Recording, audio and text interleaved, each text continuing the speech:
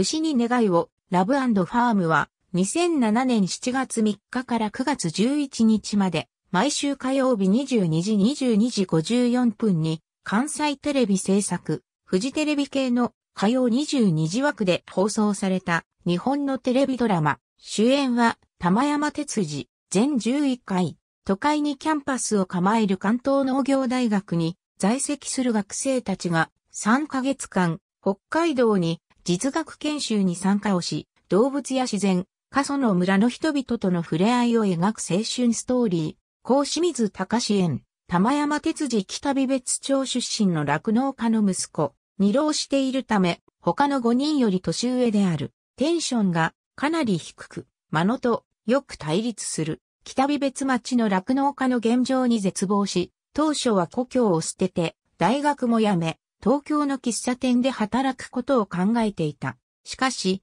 仲間と触れ合ったり、父親の酪農への思いを知っていくうちに酪農に対する姿勢がだんだんと変わっていき、最終的には北美別町に残ることを決める。ちなみに、高校時代まではファッションがダサかったらしく、好きな女子に告白すると大抵失敗していたらしい。背が高く板割りもできるが、腕相撲は、間野や若松より弱い。間野光平園、小出圭介父親が官僚というエリート一家に育つ。6人の中では、リーダー的なポジションであり、酪農に対する思いは、非常に強い。熱血感である反面、理知的でもあり、物事を論理的に考える傾向が強い。そのため末長から頭でっかちのダサボンボンと言われたことがある。勤勉で将来は農林水産省に入省しようと考えているが、実地ではそれが役に立たないことを痛感し、仕事のミスから一度は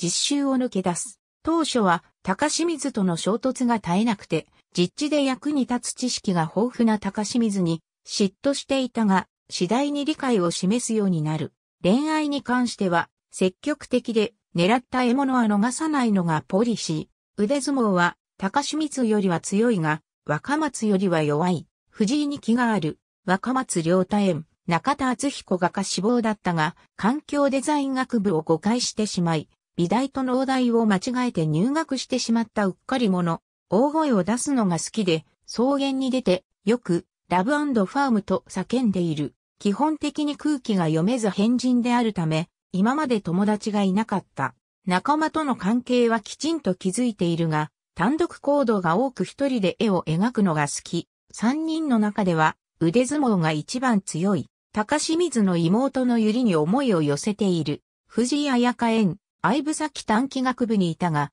遊ぶために酪農学部に編入した。酪農に関する知識や情熱が乏しく、また自分に何の取り柄もないことをコンプレックスにしており、常に恋人がいないと不安。しかしこのままではダメだと考えるようになり、勉強に打ち込むようになる。最終的には思いを寄せる高清水に告白し、いつか高清水の嫁になることを告げて、東京に帰っていった。末永美穂子園、仮並スノー台になったこともある、社長令嬢。6人の中では、唯一の獣医学部生、授業には出ておらず、実習にも単位のために仕方なく参加した。6人の中では一番不愛想で協調性がなく、そのわがままな態度が元で藤井とよく対立していた。しかし、時子の実習生に対する愛情に触れ、今までの自分勝手な振る舞いを悔いた後は、獣医の加藤に教えをこうなど、意欲的に獣医を目指すようになる。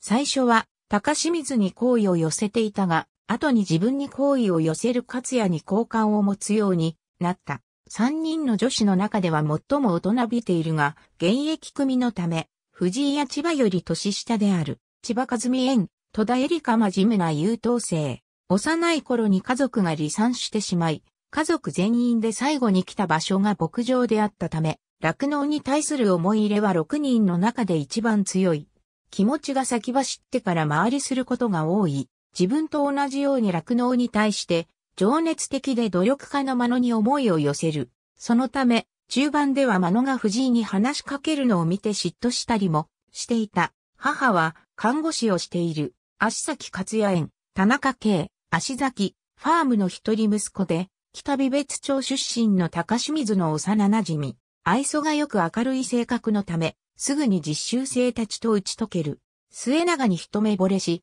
最初は全く相手にされなかったが、末永が次第に変わっていくうちに、デートの約束をするまでの中に進展する。母、時子の死後牧場を継ぐが、その際に返済しきれないほどの借金が発覚し、牧場を手放さざるを得なくなる。そして、他の牧場に働きに行くため、競走馬を育てるという自分や母の夢を胸に、北美別町を去っていった。実習生からは、かっちゃんと呼ばれている、足先時子園、一毛吉江克也の母、高清水ゆり園、有村三木隆の妹、気が少々強く思ったことははっきりと口に出す性格。兄と違い、町に対する思い入れが強く、町を捨てると言った兄に対して、怒りをあらわにする。また、町の現状を分かっていない、高志の発言に対してもたびたび食ってかかる。自分に思いを寄せる若松に対しては普通に友達として接しており、末永に対してはその大人びた振る舞いに憧れを抱いている模様。